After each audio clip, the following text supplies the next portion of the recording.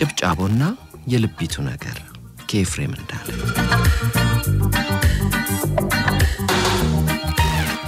ስናጨበጭብ ሲያስጨበጭቡን ማጨብጨብማ ስናጨበጭብ ኖረናል።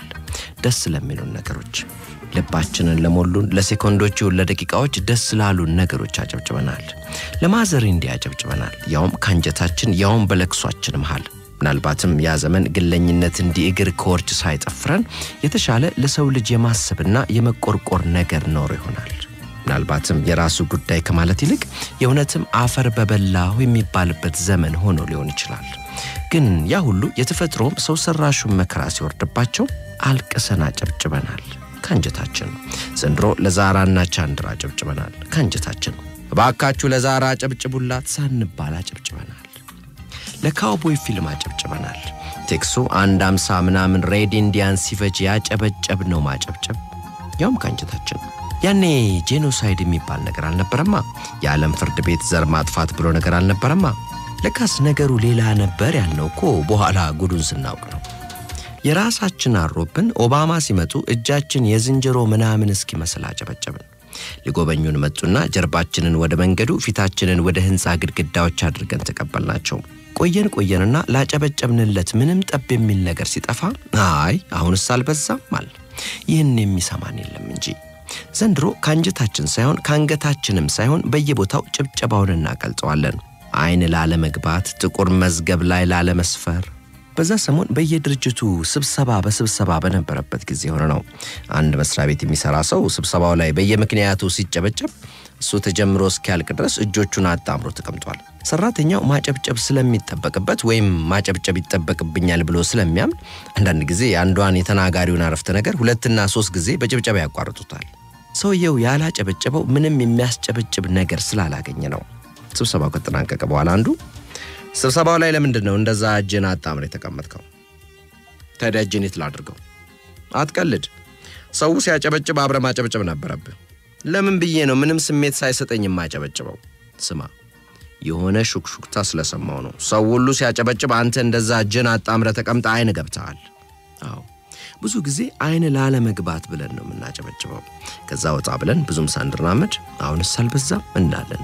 ይህን የሚሰማን የለም እንጂ ትልቁ ባለስልጣን ወደ መድረክ ሲወጡ በጭብጨባ የምናጅባቸው አመራራቸው ስለሚመቸን፣ አካሄዳቸው ስለሚያምረን ወይም ግርማ ሞገሳቸው ስለሚማርከን አይደለም ማድረግ አለብን ብለን ስለምናስብ እንጂ ወይም ከመድረክ መሪው እንድናጨበጭብ መመሪያ የሚመስል ነገር ስለሚሰጠን ነው።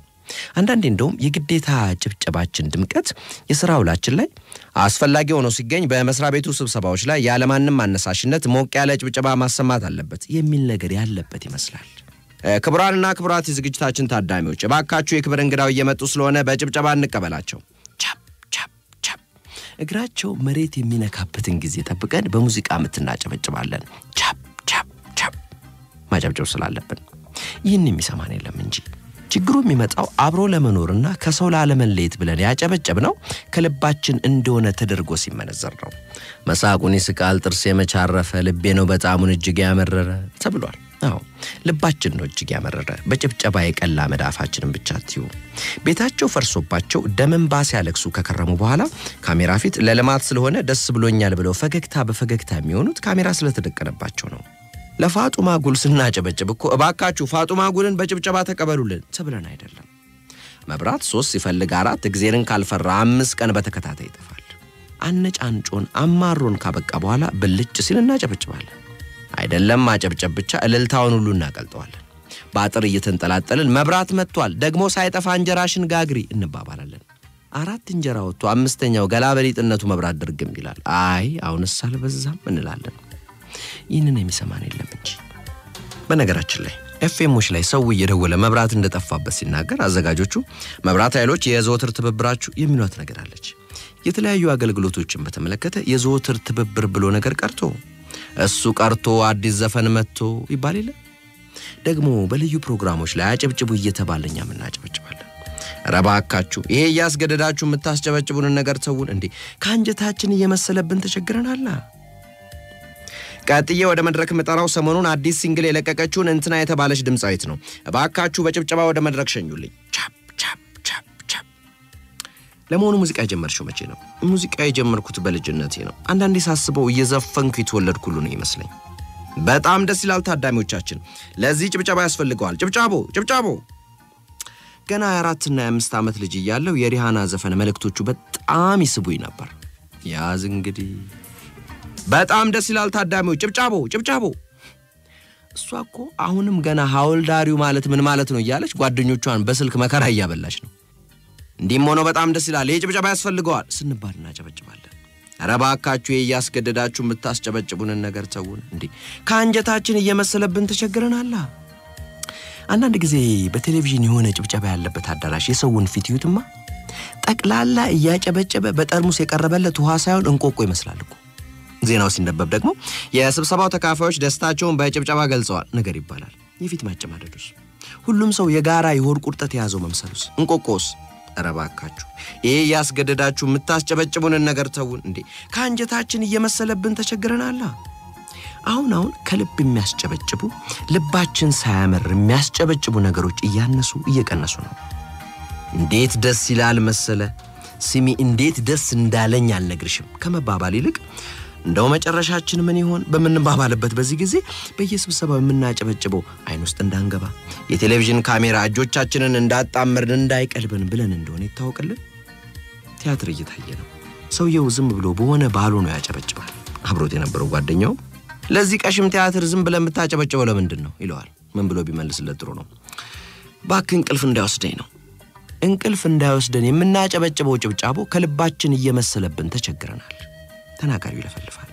በየመሃሉ እንደተለመደው ሰው አይኑ ስላለመግባት ጥቁር መዝገብ ላይ ላለመስፈር እያለ በየመሃሉ ያጨበጭባል። ታዲያ ተናጋሪው ድንገት ወደ መሃል ሲያይ አንዱ ጭልጥ ያለ እንቅልፍ ወስዶታል። ጎኑ ያለውን ሰውዬም አጠገቢያ ያለውን ሰው ቀስቅሰው ይለዋል ቆጣ ብሎ። ሰውየው ቢለው ጥሩ ነው? እንቅልፍ ያስወሰድከው ራስ ስለሆነ ራስ መጥተህ ቀስቅሰው። ራስ ቀስቅሰው ሊባሉ የሚገባቸው መዓት ተናጋሪዎች አሉ። በይሉኝታና ራስን በማዳን ጭብጫቦ መሃል የሆስፒታል ማደንዘዣ ያክል የማስተኛት አቅም ያላቸው ተናጋሪዎች፣ ትንታኔ ሰጪዎች መዓት አሉ። ኧረ እባካችሁ ይህ እያስገደዳችሁ የምታስጨበጭቡንን ነገር ተውን። እንዴ ከአንጀታችን እየመሰለብን ተቸግረናል። እባካችሁ ተናጋሪውን ወደ ስፍራው በጭብጨባ ሸኙልን ይባላል። እኛም ቻፕ ቻፕ ቻፕ እናደርጋለን። ሰውየው የሆነ ነገር ተናግሮ ከመድረክ ሲወርድ ጭብጨባው ይቀልጣል። አንዱ የሞቀ ጭብጨባ ነው ያደረጉልን እስካሁንም ጭብጨባው አላቆመም። ምን ብትናገር ነው ይለዋል። ተናጋሪውም ጸጥታ ካልሰፈነ ተመልሼ መድረክ ላይ እንደማልወጣ ስለነገርኳቸው ነው። በመሆኑም አንዳንዴ ሞቅ አድርገን የምናጨበጭበው ተመልሰው መድረክ ላይ እንዳይወጡብን ሊሆን እንደሚችል ይታወቅልኝ። ለሁሉም ግን ኧረ እባካችሁ ይሄ ያስገደዳችሁ የምታስጨበጭቡንን ነገር ተው። እንዴ ከአንጀታችን እየመሰለብን ተቸግረናል። ጭብጫቧችን ልባችንን አያሳይም።